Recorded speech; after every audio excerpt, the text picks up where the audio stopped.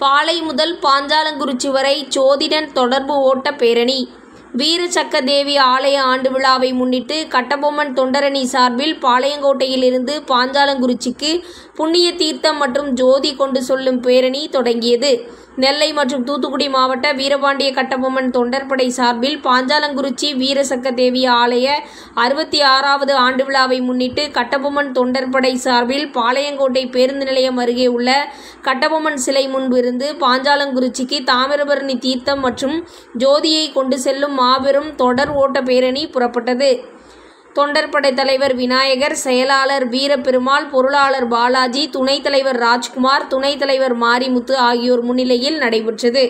கட்டபொம்மன் பண்பாட்டுக் கழகம் தூத்துக்குடி மாவட்ட தலைவர் வலசை கண்ணன் நெல்லை நாயுடு சங்க தலைவர் சுப்பிரமணிய நாயக்கர் வீரபாண்டியபுரம் கணேசன் மதிமுக மாநில துணை பொதுச் செயலாளர் திமுக ராஜேந்திரன் மாவட்ட செயலாளர் கே எம் ஏ நிஜாம் ஆகியோர் மேற்பார்வையில் கட்டபொம்மன் பண்பாட்டுக் கழக மாநில தலைவர் வரதராஜன் ஜோதியை தொடங்கி வைக்க தொழிலதிபர் பிரகாஷ் நாயக்கர் புண்ணிய தீர்த்த கலசத்தை வழங்கினார்.